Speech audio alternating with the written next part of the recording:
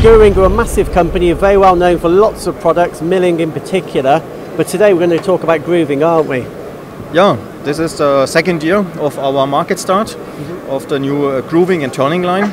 So it's a it's an incredible project within this uh, big uh, company to start uh, this particular application. Mm-hmm. And you say it's two years old now. How has it gone? How's the rollout gone? The rollout uh, the rollout um, goes uh, very well it goes into the right direction. We are growing our sales, our turnover. We are growing inside the factory. We are adding people. So it's all going into the right direction. Sure. And if you've got internal grooving, external grooving, both? Yeah, both, as you have mentioned. We have a line of products for um, boring, recessing, and grooving inside the bore, and also for external application on uh, turning components. And how big is the range? You know, what shank diameters? The turning and boring is starting at a 4 millimeter shank, going into 6 millimeter. And new at AMB, we have added lines with 8 and 10 millimeter shank for more rigidity and for larger size bores. And what type of tools? Obviously, there's boring bars, but have you got face grooving and other tools like this? Yeah, there's a little niche of face grooving tools, also mainly for small diameter machining. Okay, so where do you see these tools going? Is it people with maybe sliding head lathes or, or smaller lathes? Yeah, Swiss type machining, uh, sliding lathes. This is one of our target industries.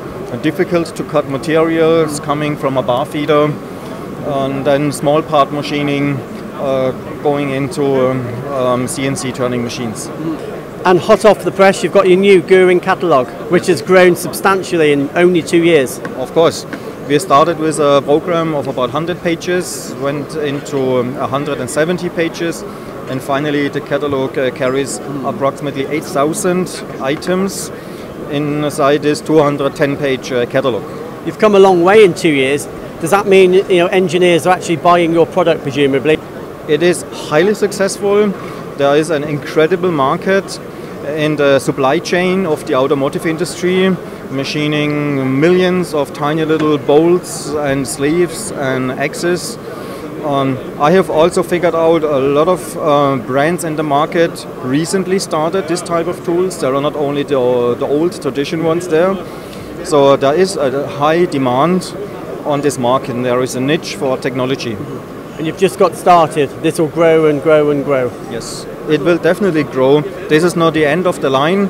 We have um, many, I cannot talk that much about R&D projects, but there are many in the line, in the pipeline, um, because uh, we want to go into deeper grooving, uh, parting, indexable insert, uh, boring, and there's a lot of room for um, expansion. Well, good luck, and I look forward to seeing the next catalogue.